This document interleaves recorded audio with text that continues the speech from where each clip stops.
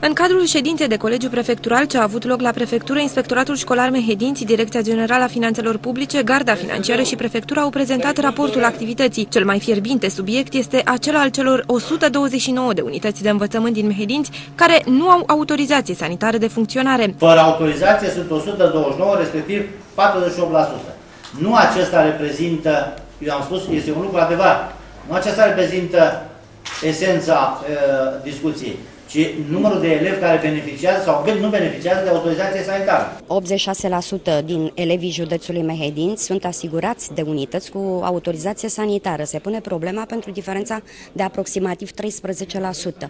Așteptăm ca demersurile făcute de mine și de senatorul Stănișoară să devină realități, adică o hotărâre de guvern care să aducă bani la primării pentru igienizare și pentru obținerea acestor autorizații. Primăriile sunt cele care trebuie să igienizeze școlile și să efectueze reparațiile capitale, astfel încât unitățile în cauză să intre în legalitate. Au constatat că, de fapt, prin efortul propriu al părinților s-au reparat, s-au igienizat foarte multe școli.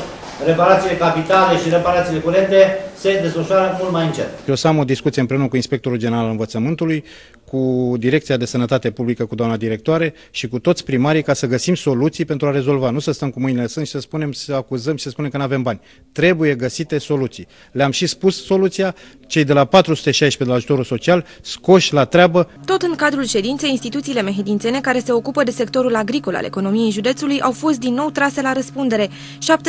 70% din suprafața agricolă este lăsată pârloagă. Să găsim soluții pentru că aceste terenuri sunt luate de ani de zile sau de 15 ani, 18 ani.